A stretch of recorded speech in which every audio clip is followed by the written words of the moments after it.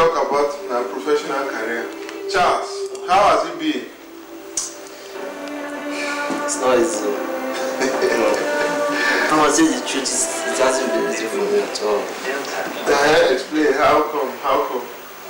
Concerning the injury aspect, also, No, generally about professional football in France. in Your France, experiences so far.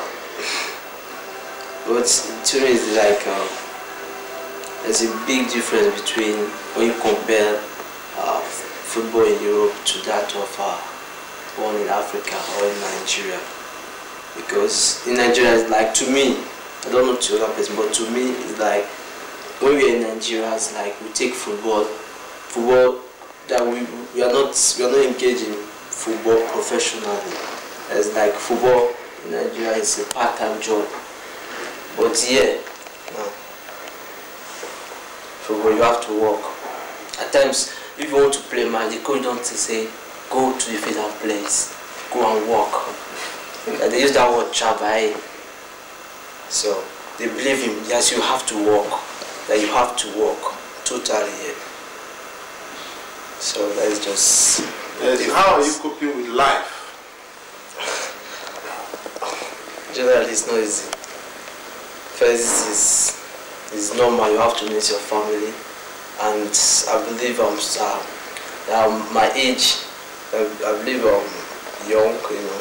So at my age, leaving my family is is somehow, you know, there will be that feeling at least, a human feeling for my family and everything. But I just just go have it. We are trying, we're coping, adjusting to the system gradually. So what advice would you give anybody, any of those young boys who is coming to Europe to play? uh, uh, uh, no, but to them, they, they would think maybe I have something in mind. But the truth is, that law that uh, about that the NFA have just said that you must be 18 before you leave the country. Just that is, I think is the best for any those for those young talented players. But if they think, but normally, you know, we Nigerians we like money. Is every young player want to come to make money and things like. But true is that if you can just endure, have that patience, till 18 before you come at least, you have some kind of respect.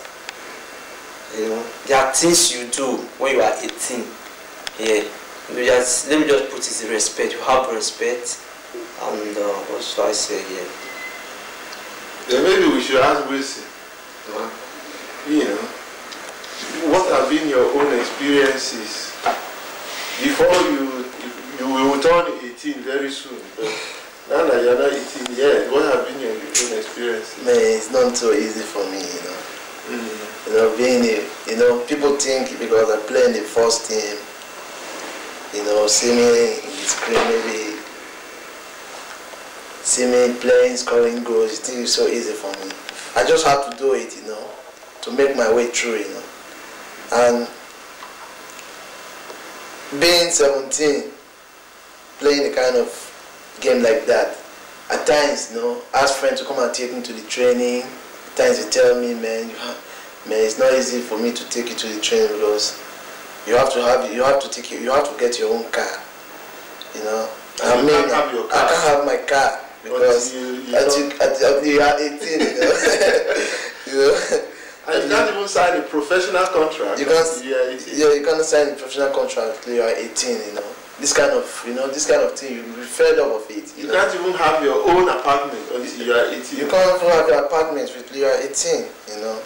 But thank God, you know, I just have to take things like that, have to work hard and think, forget about what, you know, I've cost it, you know, I have to just give sacrifice because I started it all, you know.